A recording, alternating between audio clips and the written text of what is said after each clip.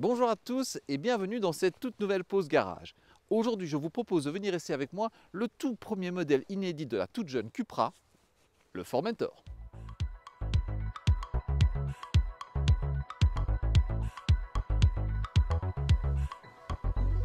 Fidèle à la tradition qui lui vient de Seat, mais il faut pas le dire, le nouveau venu reprend l'appellation d'une région espagnole. Il s'agit en l'occurrence du cap Formentor, situé sur l'île de Majorque en Méditerranée. Et on dit merci qui? Euh... Merci Jackie Michel Non Ah Merci Wikipédia. Ce SUV compact a été préfiguré par un concept car éponyme présenté lors du Salon de Genève en février 2019 en guise de première bougie d'anniversaire pour Cupra. La version de série devait normalement être présentée l'année suivante au cours du même salon, mais crise du coronavirus oblige, l'édition 2020 a été annulée et le Formentor a dû se satisfaire d'une présentation virtuelle. Avec ce modèle, Cupra cherche à affirmer son identité et son indépendance vis-à-vis de Seat. Ainsi, bien que le Formentor partage la même plateforme MQB que l'ensemble des moyennes du groupe VAG, il bénéficie d'une carrosserie qui lui est inédite et surtout d'une version de pointe équipée d'une mécanique prestigieuse à laquelle Seat n'a pas droit. Je vous parle du 5 cylindres turbo-compressé, jusqu'alors réservé aux Audi RS3 et RSQ3, cette dernière étant essayée par Fabien il y a quelques mois déjà. Malheureusement, les quotas européens en termes de CO2 ont pour effet de limiter la production de cette version survitaminée à 7000 exemplaires seulement. Le reste de la gamme doit se satisfaire de mécaniques moins extrêmes, tout en restant dans le haut du panier. Et oui, il n'y a pas de Formentor en dessous des 150 chevaux. Le modèle que nous essayons aujourd'hui est équipé de la mécanique de base, le TSI 150. Ce 4 cylindres en ligne turbo-compressé de 1498 cm3 développe 150 chevaux et 250 Nm de couple. Il est présenté ici dans une version dépourvue de micro-hybridation 48 volts. Il est d'office accouplé à une boîte de vitesse manuelle à 6 rapports ou, comme c'est le cas ici, à une unité robotisée à double embrayage et 7 rapports, l'ADS G7, facturée 2020 euros. La transmission s'effectue exclusivement aux roues avant sur le TSI 150 chevaux. Mais une transmission aux 4 roues par coupleur Aldex, baptisée 4Drive, est disponible sur d'autres motorisations telles le TDI 150 ou le TSI 310 chevaux. Ces solutions techniques sont bien connues par les compacts du groupe VAG utilisant la plateforme MQB. Ainsi, au jeu de crash test, le Formentor se montre tout aussi sûr qu'un Skoda Octavia ou qu'une Audi A3. Il vient de décrocher les 5 étoiles au protocole du crash test Euro NCAP qui viennent d'être sévèrement endurcis avec d'excellents scores. 93% pour la protection des adultes contre 88 pour les enfants. Le Formentor est disponible à partir de 32 760 euros pour la version TSI de 150 chevaux et 35 140 euros pour le TDI de même puissance. Il existe également deux versions hybrides rechargeables, une de 204 et une autre de 245 chevaux. Celle de 204 chevaux est disponible à partir de 40 560 euros et celle de 245 chevaux pour 45 830 euros. Elle est d'ailleurs à l'occasion rebaptisée VZ pour Veloz. D'ailleurs, sachez que cette motorisation qui équipe la Cupra Formentor 245 chevaux hybride rechargeable, c'est la même que celle de la Cupra Leon Break que j'avais eu l'occasion d'essayer il y a quelques mois déjà. Il y a d'autres versions Veloz. Il y a également une autre version qui fait 245 chevaux, 100% essence, et encore une autre 100% essence de 310 chevaux. Et chacune coûte 41 860 euros et 47 840 euros. Mais c'est pas tout. Il y a également la version 5 cylindres en ligne turbo-compressée, la VZ5, limitée à 7000 exemplaires. Mais malheureusement, à l'heure de tourner cet essai, eh bien, les tarifs ne sont pas encore connus.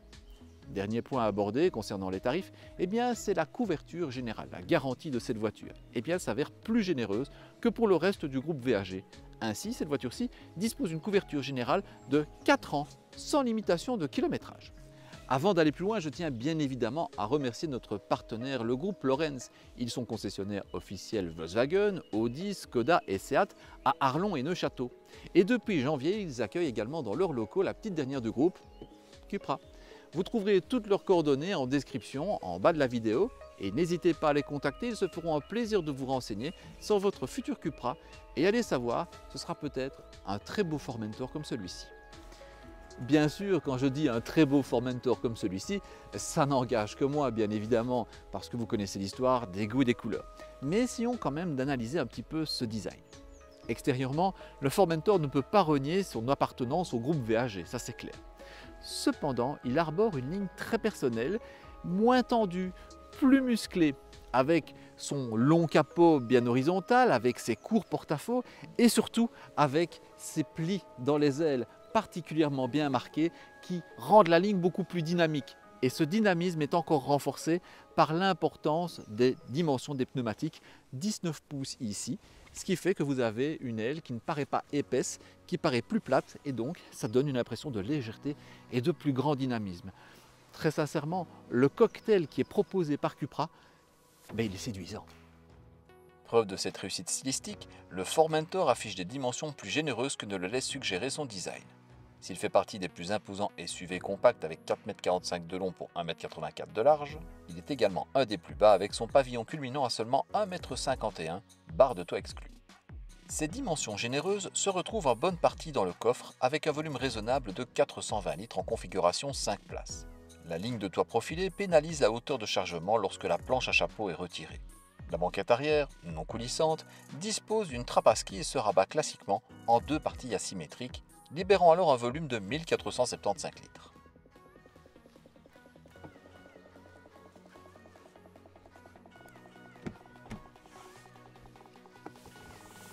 Attends-moi, attends-moi.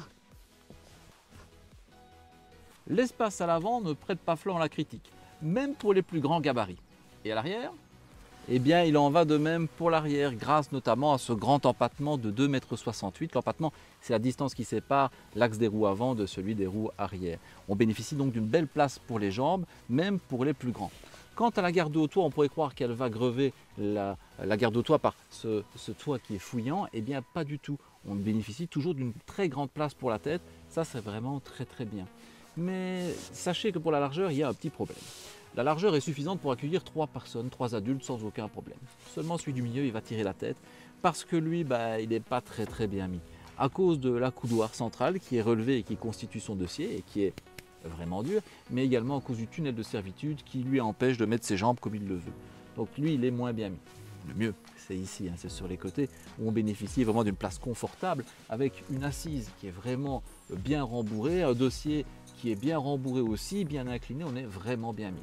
On dispose de pas mal de petites attentions bien sympathiques également, qui sont celles qu'on retrouve généralement dans le groupe VAG, c'est-à-dire des grands bacs de portière, des aumônières au dos des sièges avant, de quoi recharger son smartphone, un réglage de la climatisation, mais également la coudoir centrale dont on a parlé tout à l'heure, qui renferme deux porte-gobelets.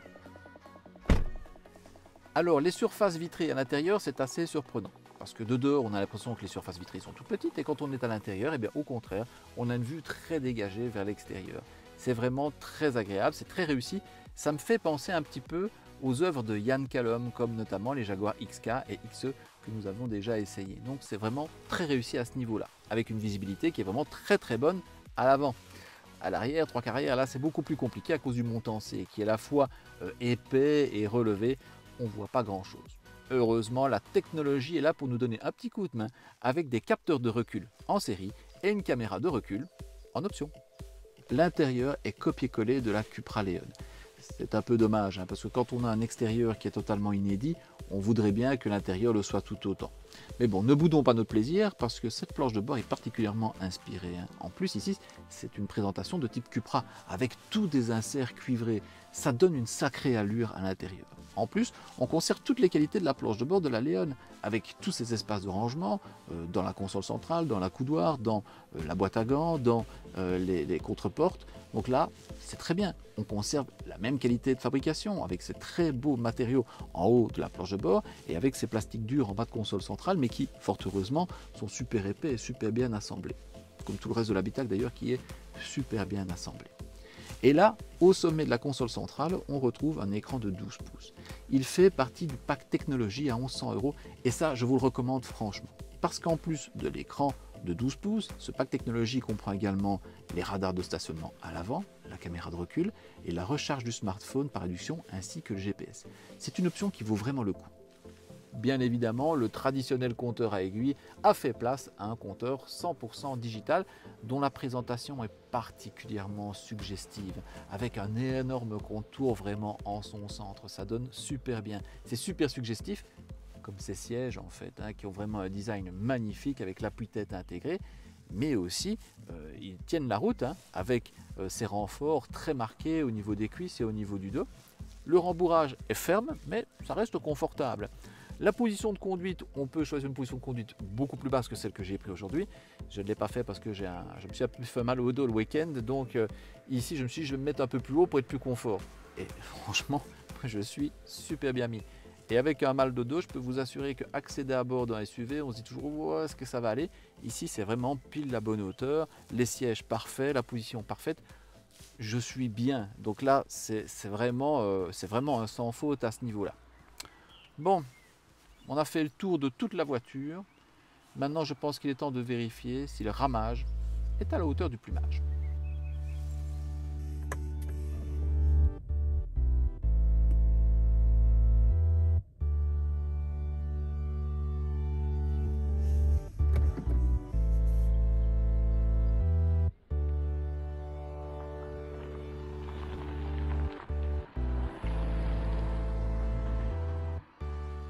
Le TSI 150 s'éveille en toute discrétion. Mais cette dernière cache un tempérament et une vivacité des plus réjouissantes. Le 0 à 100 est avalé en moins de 9 secondes et la vitesse de pointe dépasse les 200 km/h. Cette bonne santé, le TSI la doit en bonne partie à sa boîte de vitesse robotisée à 7 rapports, dont la célérité n'a plus de secret pour personne. Mais le plus agréable vient des trains roulants. Le Formentor est sans conteste le plus abouti des véhicules disposant de la plateforme MQB.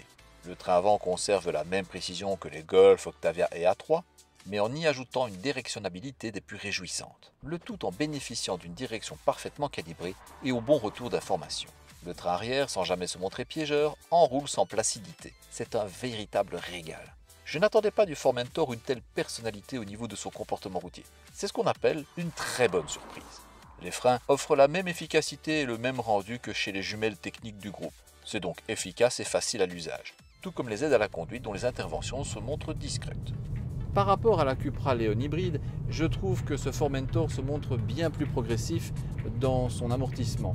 Et ça vient probablement du fait que le Formentor n'embarque pas 350 kg de batterie embarquée. Ça montre l'importance de la gestion de la masse dans un véhicule. Pas seulement sa répartition, mais également sa réduction. Ici, on a vraiment un comportement qui est à la fois beaucoup plus incisif et en même temps un confort, un amortissement qui est beaucoup plus, euh, beaucoup plus doux pour les lombaires.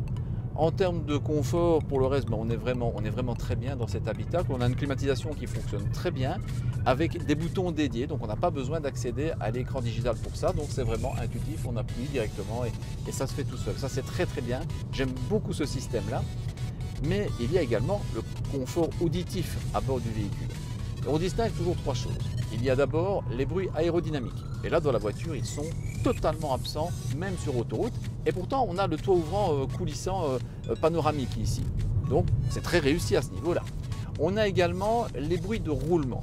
Là, vous entendez, ils sont quand même assez présents. C'est tout simplement parce qu'ici, on est sur, des, sur ces petites routes, ces petits chemins de campagne avec ces revêtements particulièrement granuleux qui ne bah, pardonnent pas en général, hein, qui font toujours du bruit quelles que soient les voitures. Mais malgré ça, ici, c'est quand même très bien contenu, malgré la largeur des pneus. Donc c'est vraiment, c'est vraiment pas mal ça. Et puis, il y a enfin le bruit moteur. Et ça, ah, ça me gêne un peu. Parce que la mécanique, elle est très vivante et en même temps, ben, on l'entend presque pas. Et, euh, ça me démange parce que euh, on a envie, avec une voiture vivante, ben, qu'elle soit vivante. Et donc, on a envie d'entendre le bruit du moteur. Mais à côté de ça, il faut être un peu raisonnable et se dire que cette voiture-ci, ben, ce n'est pas un véhicule de sport, c'est un véhicule avant tout homogène pour conduire tous les jours. Donc avoir un bruit qui soit envahissant au quotidien, je comprends que ça peut fatiguer et je comprends que ça ne puisse surtout pas plaire à ceux qui vont acheter cette voiture-là.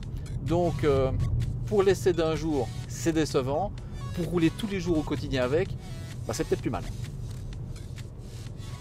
Donné pour 6,2 litres en consommation mixte sur les nouveaux protocoles WLTP, soit 140 g de CO2 au kilomètre, le Formentor TSI 150 à boîte DSG a consommé 8,2 litres au cours de cet essai. Il s'agit clairement d'un bon résultat, surtout quand on tient compte de la lourdeur de mon pied droit aujourd'hui. Aux allures légales sur autoroute, la consommation peut très aisément descendre sous les 6 litres. Et avec 55 litres de contenance, le réservoir autorise une autonomie pouvant largement dépasser les 800 km.